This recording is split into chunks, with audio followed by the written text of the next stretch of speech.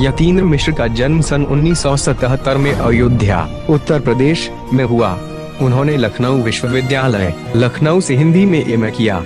वे आजकल स्वतंत्र लेखन के साथ अर्धवार्षिक साहित्य पत्रिका का संपादन कर रहे हैं।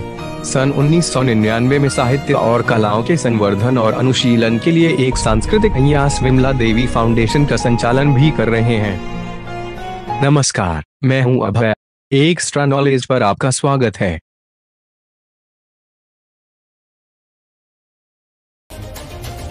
यतीन्द्र मिश्र के तीन काव्य संग्रह प्रकाशित हुए हैं, यदा कदा। अयोध्या तथा अन्य कविताएँ। द्रोड़ी पर आलाप।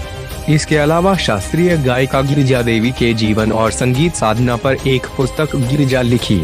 रीतिकाल के अंतिम प्रतिनिधि कवि द्विदेव की ग्रंथावली 2000 कौमा का सह संपादन किया।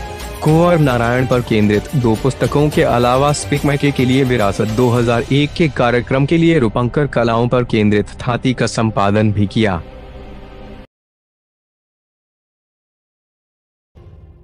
युवा रचनाकार यतीन्द्र मिश्र को भारत भूषण अग्रवाल कविता सम्मान, हेमंत स्मृति कविता पुरस्कार, ऋतुराज सम्मान आदि कई पुरस्कार प्राप्त हुए हैं।